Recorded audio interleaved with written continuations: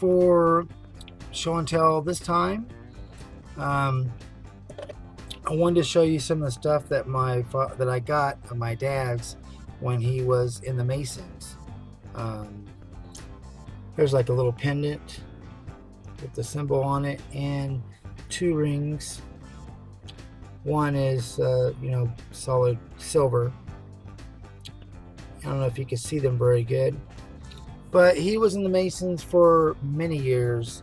And um, he even worked up the ladder to become the master of the lodge, which I think is, I don't even know exactly what all that is.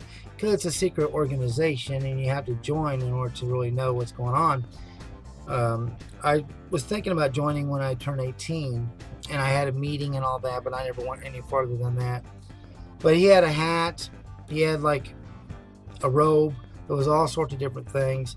He also would like, you know, when they'd have those um, parades where they on the little mopeds, he'd do stuff like that. They uh, raise money for different organizations but he was really proud of being in the Masons.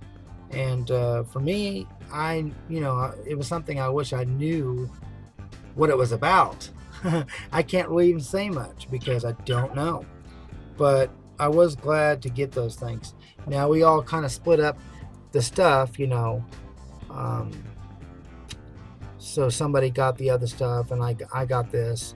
But to me, anything at all of my father's meant a lot to me. So I didn't care if it was big or small.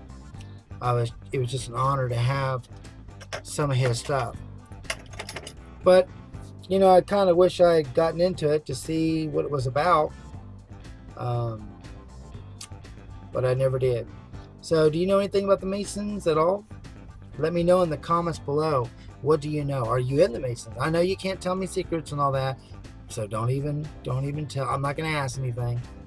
But anyway, I think it was really cool that he was in an organization that helped the community out.